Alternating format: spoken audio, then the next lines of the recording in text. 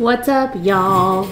So, I'm pouring solo today because um, Jeff is with Ron, who really needs a lot of friendship and love right now because we had the memorial service to his beautiful son today.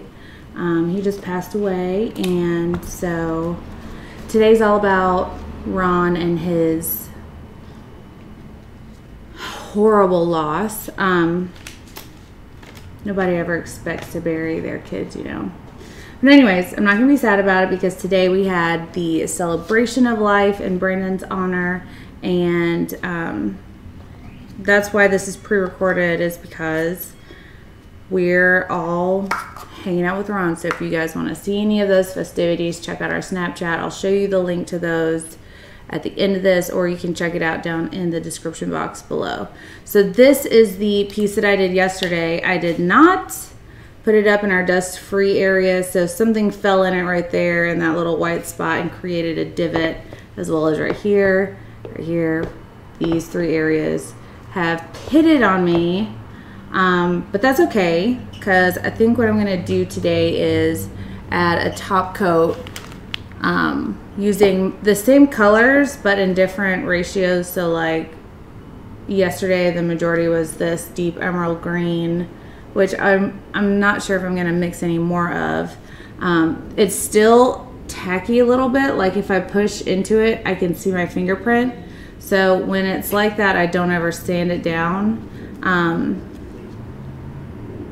but if it were set for 24 hours, I would have sanded it down. I went ahead and mixed up my resin. This is Art Coat by Stone Coat. You can get them, um, you can get this resin from them with um, the code YALL, Y-A-L-L in all capitals. It'll give you um, a discount off of a $100 purchase, or you can just get it from our website. Currently, we have it in stock right now.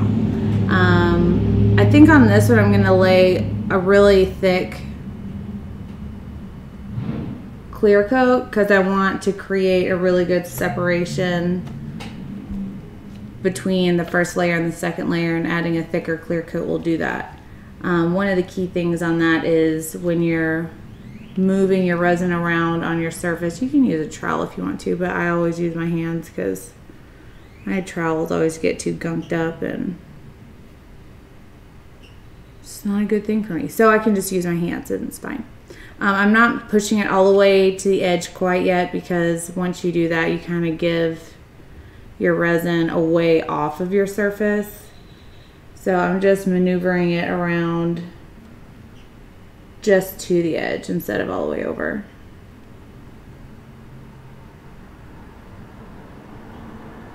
And I'm trying to fill in any gaps that I didn't get on my initial application of the resin. There we go. You don't have to be like OCD about it. Um, resin is self-leveling in general, so even if you have what looks like a higher spot or a ridge or a low spot, as long as it's not bare and completely dry and void of resin, it's gonna fall into that area really easily. No stress. Um, when you try to create that extra depth by adding a thick layer of clear, it's very important to not use too much heat because the more heat you use, the thinner your resin will be, thus making it easier for it to roll off the canvas. So keep it off the edge for as long as possible and minimal heat it's kind of the best way to keep it on your canvas. So I haven't even mixed up my colors yet. I'm going to do not a lot of any of them because I really like what the base layer is doing. I'm mainly just doing this to create some new depth in the piece. Excuse me. So I'm going to use some this white from Stone Coat. I have it in a squirt bottle, just kind of easier for me to use it because the big one is kind of hard to open sometimes. Now when you use the stone card, stone card, stone coat base tint, you have to remember to use minimal amounts of the base tint in your resin because if you use too much, your cells won't mm, retain their circular shape and they'll just blob out forever. And it'll just make your piece look cloudy. So save yourself from ruining a piece and save yourself some product and only use enough to make your resin opaque. So that's my white. I'm gonna also use the green meadow that I used yesterday. It's a tint from Color Obsession. I put the pipette in it backwards though. It doesn't work like it should and I just haven't quite got up the gumption to put my hand around this completely saturated pipette to turn it around. This is such a great like melted Jolly Rancher green. That's all I think about whenever I use these tints from Color Obsession. Just melted Jolly Ranchers. Okay, um, I am gonna mix just a little bit of that emerald color and a little bit of the gold. Because why not? This emerald green is from Color Obsession. It is a non-metallic, non-shimmer, non-sparkly paste. It is very rich and creamy, amazing. Um, it doesn't take a lot. Typically, the rule of thumb is 10% color to resin ratio. Typically, you can do what you want to do. It's your party. Paint it how you want to.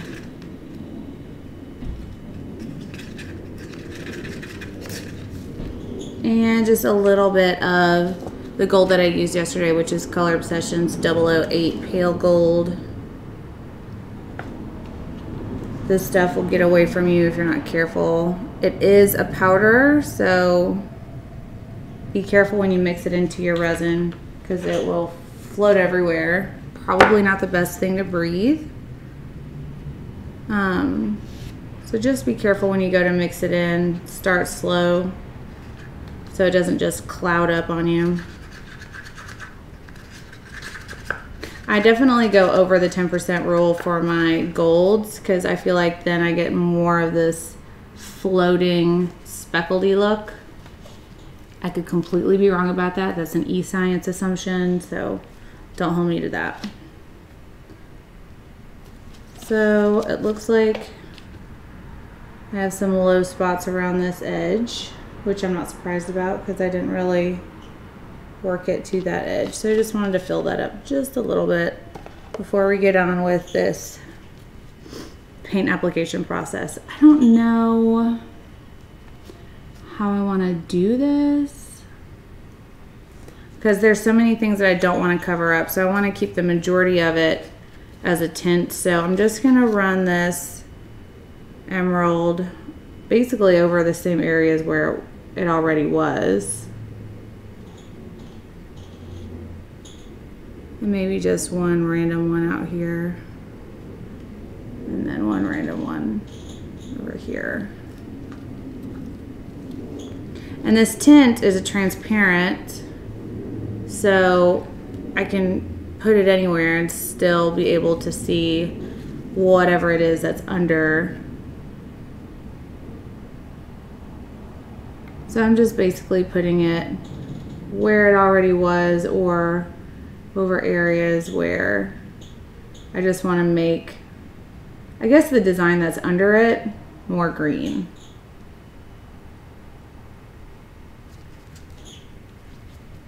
There we go.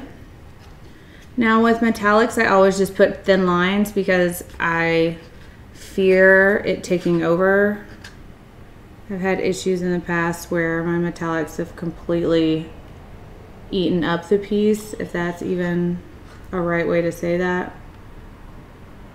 So I only put thin lines like this. Now I'm adding my this white. When you add your, if you're using a base tint, so if you're using a regular paste, you want to manipulate those on top of your other colors. Base tints, you want exactly opposite. You want them to be under your other colors to create the cells. So I have to apply this where I know I'm going to push the color. So it's already white out here. So I know that I'm going to manipulate all of the paint this way from the middle out. So that's why I'm going to add the color on the, I mean the white on the outside of this, there, and on this side of this dark color. Because I'm going to be pushing all those colors that way. And I'm going to do exactly opposite on this side. There we go. Then I'm gonna hit it with some heat and then we'll get on with the art, art, arting process. You'll see all these little bubbles pop and that's from mixing your part A and part B together as well as mixing your color in. You're basically introducing air into your resin and it's perfectly normal. The heat's gonna get rid of all those. Don't stress about that. So now I'm gonna just push just like I did on the first layer.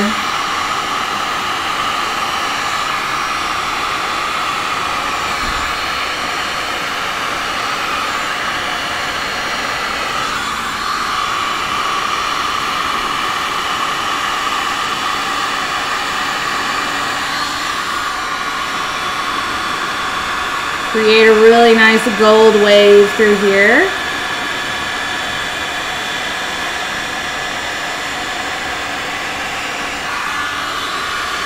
so nice.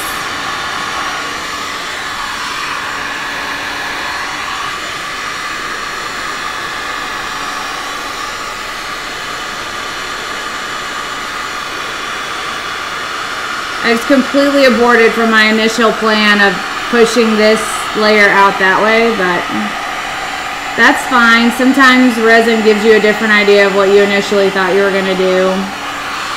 Don't feel bad. It happens to everybody. Just go with it. Don't stress out. Don't get upset. Sometimes you just have to let the resin tell you what is best for your piece, in my experience. Just want to make sure I've got resin all the way to the edge, all the way around this piece. Now that I have the artwork on, I'm going to add some clear to where I can see that it's dry. Such a nice amount of depth in this piece now. Very happy with it.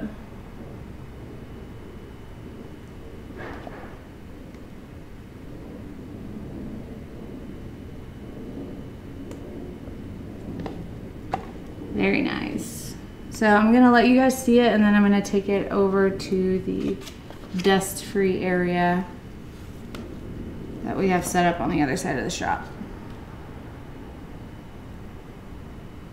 I'll also put a video of it on Facebook on ATD's Pour People.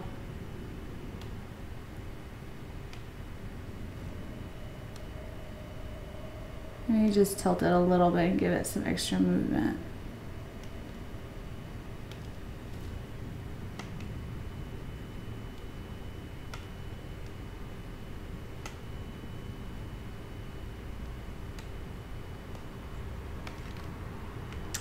I like it. I like how it looks like that gold is striated in these areas where it kind of grabs on because some of it sinks and then just get stretched. Anyways, I'm gonna go put this up. I'll be right back.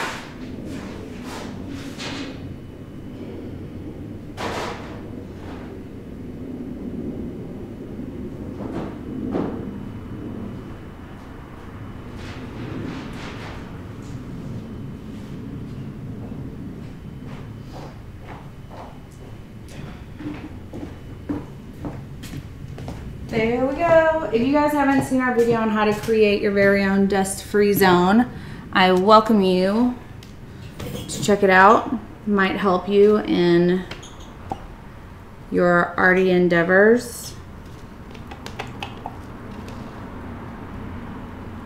So with my extra, I'm just gonna fill up this druzy mold.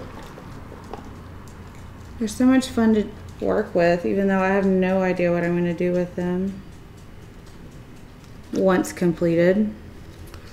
Hi, baby pup. One second, you can come say hi to everybody, okay? One second, baby moose. If you guys haven't met my pup, he wants to say hi. I know it. There's that. This. Let me get this resin off of me because you don't need any resin in your hair, tiny pup. There we go. Okay. Hold on.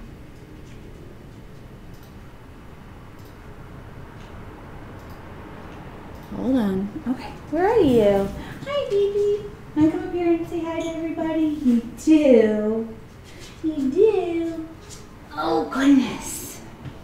There he is.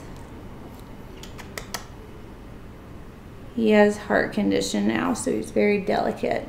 But he still has a run of the house. He's my little bear mascot of the studio. Anyways, you guys, I gotta go catch up with everybody in the memorial service. So if you want to check out our all of these, and um, you can find us on Facebook at ATD's Pour People. It's a great group where you guys can come in, mingle, get pointers, learn pointers. It's just a great hmm, interactive and supportive group for artists that particularly are interested in pours. Um, check us out on Instagram YouTube, obviously, you know where we are on YouTube. And um, check us out on Snapchat if you want to see behind the scenes of all the things that we do. If not, you'll hear about it on Facebook or on here. Um, be kind to one another, y'all. Seriously, I've learned this over the last month. You never know what someone's going through, so be kind first, ask questions later. Or don't ask questions at all, just be kind because it's regular, because you're an adult. Anyways, we love you all so, so much, and we appreciate everything you do for us. We will see you guys um, tomorrow's Monday, 8 p.m. Central Standard, Dallas, Texas, United States time. So that would be it's 7:30 right now when I'm about to upload this. So it'd be about the same time tomorrow. Anyways, you guys, thank you for watching from the bottom of my heart, and we will see you guys tomorrow. Bye. Crickets. No one. Moose says bye.